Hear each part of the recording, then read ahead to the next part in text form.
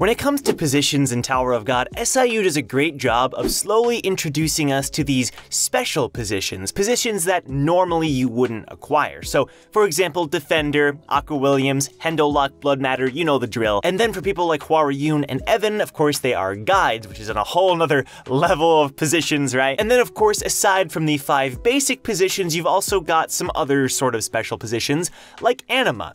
Now, animas are interesting, as being an anima is one of the only skills where you can't really train to become an anima. You can get better at becoming one, but it requires a natural skill. There's a lot going on here, so today we're gonna break down what it means to be an anima, who we know in Tower of God who are anima and have that skill, and basically what it means going forward for Tower of God. This is the year of the Bonehead, so if you wanna hop on the subscriber train, then definitely hit that button and like this video for more Tower of God explained content just like this. So overall, being an anima means essentially you're able to control and subjugate creatures. And for the most part, you know, we see a lot of Shinwei or divine sea fish that are controlled and subjugated in this way.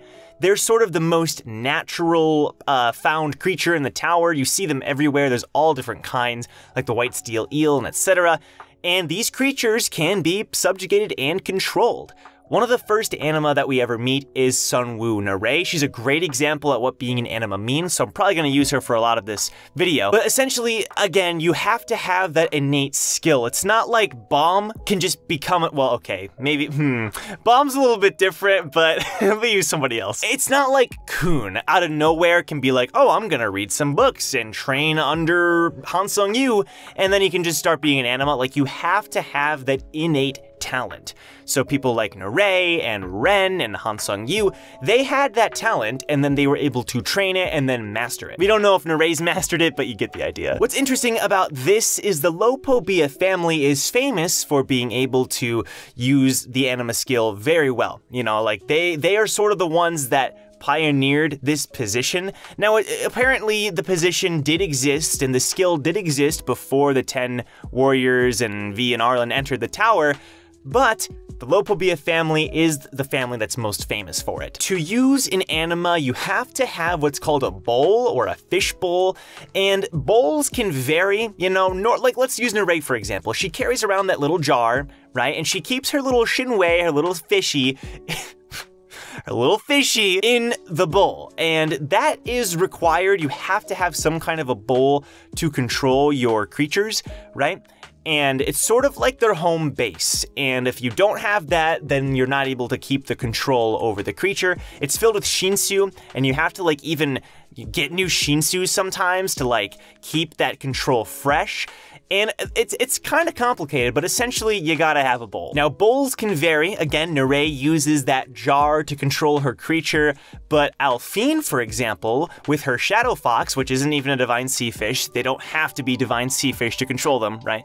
She uses the entire room as the bowl.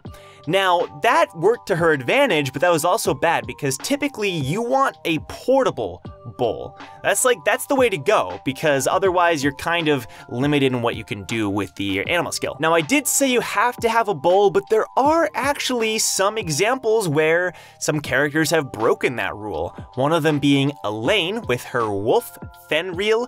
Now, Fenrir's kind of different because Elaine is obviously from a branch of the Lopobia family, the, the wolf branch, right, the wolf clan. So it's kind of different. She got their special skill and she kind of breaks the boundary that way.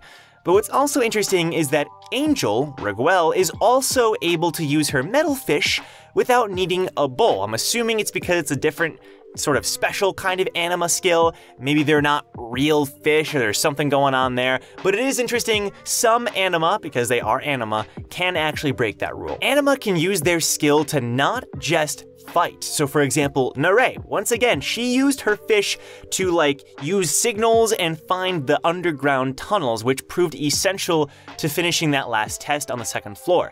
You know, most of the characters we've seen, they've used their creatures to fight, but you don't have to. You can use it to scout, you can use it to explore or distract people and whatever, which is really interesting. Now, there is a weakness to using this skill. If you're using this and the animal's going out there, the creature, and you're fighting, but you're taken down, the animal is taken down with you because the anima skill is a Shinsu skill, like anything else, right? You need the bull and you need to be like controlling them, you know? So if you're taken down, they're taken down as well. I'm gonna go through a list of anima that we know and talk about just very briefly the anima that they're able to control. Han Hansung Yu, he used that giant fish thing to eat wrens in season one.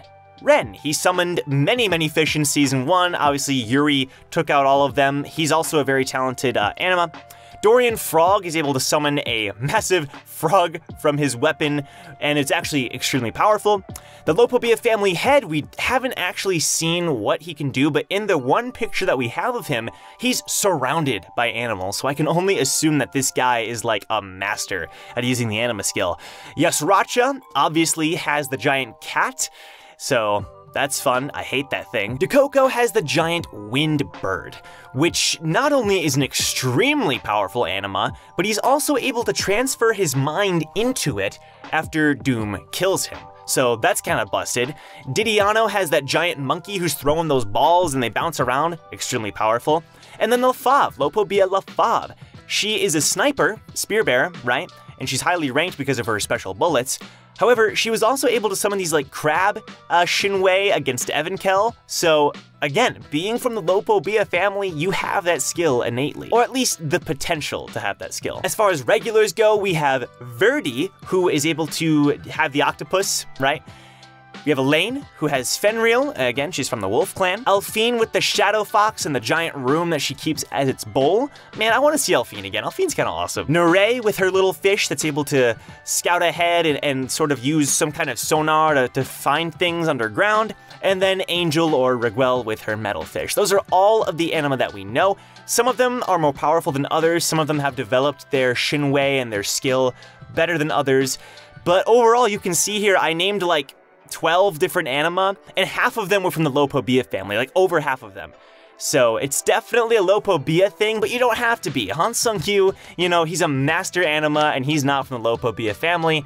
So overall, being an anima is sort of just like you can main it. It's I think of it like a video game. You can main it as your class or your skill, or it can be like a secondary thing where it's sort of like a backup. So Han Sung Yu, he's a master wave controller, but he's still a very skilled anima, you know? But then someone like Dekoko, or I'm assuming maybe the Lopobia family head, it's probably like their main thing, you know? So I find this really interesting. The position itself has a lot going on. And as far as the future goes, I want to meet more anima. You know, I want to meet more people from the Lopobia family. We've already met a ton of them. But I want to see what other kinds of anima exist, maybe different kinds of creatures. I don't know. There's a lot of potential here. I want to see what SIU can do with this. And I kind of want our squad to maybe learn it too. Maybe I want to see Elaine start to use her anima skill more. Maybe um, someone else can return and we can see them fight. Hansung Yu can start using his skill. I'd love to see that. Thanks a lot for watching, everybody. If you enjoyed and want to support the channel further, we do have a Patreon page. Thank you to all of my supporters here. You guys are incredible. I want to give a huge shout out, especially to the Kings of the Tower, the supporters of the channel, sponsors of the channel even. We got Big Juice, Snap the Slayer Anime, and Saeed Masood. You guys are awesome. These guys give me video suggestions all the time. They're always great. I still have to work on a couple of them. They're super awesome. If you want to become a King of the Tower, high ranker, Slayer candidate, whatever, definitely check out our Patreon page. It's linked down below. And with that, I'll see you guys in my next Tower of God Explained video. Take care.